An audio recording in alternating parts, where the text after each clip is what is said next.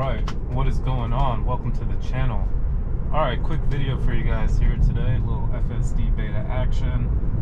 Um, we're in a semi-construction zone. Actually, we're going over 495 over here.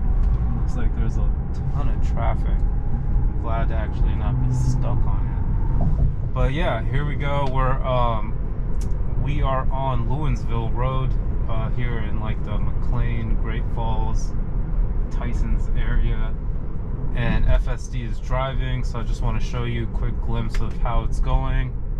Um, pretty boring if you ask me. Uh, gets a little boring after a while because you know it's kind of boring not to drive. But then again I do want to show you all the capabilities of FSD and how it's doing. So it, it sometimes it does get boring to drive and that's the perfect time to, to pop it on um, you know and and that's kind of like a personal thing. It depends on what you prefer.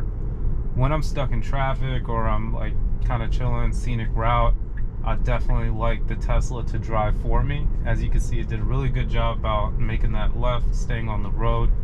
Uh, but when i do have the open road in front of me i of course like to drive my car. And uh, that's the beauty of uh, tesla cars is they do operate like a regular car I hear a lot of people saying, oh no, I can never have a car drive for me. I need to be in control. Sure, I get it. Um, I, I, feel the same way. Uh, and if you want to be in control, all you got to do is take over and then it drives like a regular car. But for those moments when we don't, um, that's kind of one of my goals here is to show you the capabilities of what FSD can do. Um, and it's kind of like a mix that you end up doing into your routine to see like how you how you use it. But I'll tell you that I end up using it more than I don't uh, which is interesting because you know I've been driving for I don't know 12 to 15 years now something like that. And it's it's enjoyable thing every day but at the same time it's not. Uh, so it's really nice to have FSD for those moments but you know, it's nice to be able to, of course, be in control when you want to. Um, but as the time goes by, updates keep coming along. Uh, we are getting better and better. Each update is like five steps up and two steps back. So at the beginning, um, I've, I've been in beta for a little over a year. I got it like March 2022. So at the beginning, like these updates were really big and um, huge improvements as well as huge changes from the previous versions. Whereas now it's gotten so good that it's kind of hard to make these like massive changes for every update. So each update coming in is going to be more like safety critical situations, try to touch on and improve. But all in all, it's getting pretty good. You know, it's not perfect, as you can tell. Um, I don't think I've taken over this whole drive yet.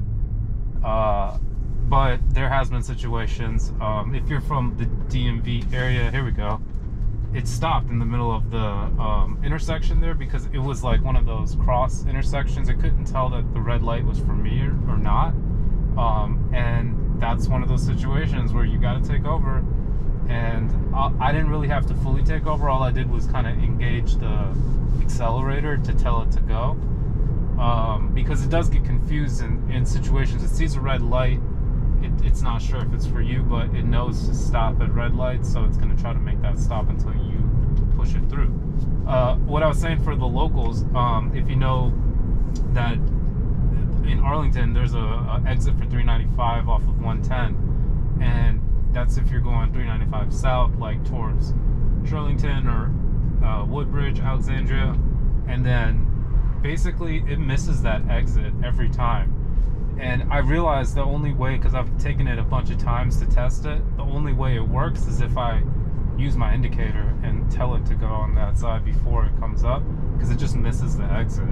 So it's like, it's not perfect, but compared to like other cars and seeing the way that it handles like exits on highways, Tesla is way ahead. Because since the beginning uh, versions of FSD, they've kind of sought out to perfect highway exits and being able to travel and map those out just as much as regular roads so it's not like a foreign area to the car when it's on like a off ramp, it knows off ramps really well, uh, and it, it like has its own set of rules for off ramp. So again, you know, comparing it to the what it did in, on 395, it's not perfect, but at the same time, it, it's um, it's good to know your routes, and if you're if you're driving unfamiliar territory, you know, you gotta really be cautious. All right, so yeah, I want to thank everyone for watching this. Hopefully you enjoyed the video. Uh, let's see, we've got a little bit.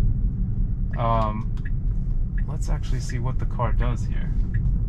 So yeah, we got a little bit extra to the video here. I want to um, try to see how it navigates this uh, construction area. This is kind of um, in the works right now. They're going to change this up. The light situation was completely different. So here we go with a great situation on seeing how FSD handles this.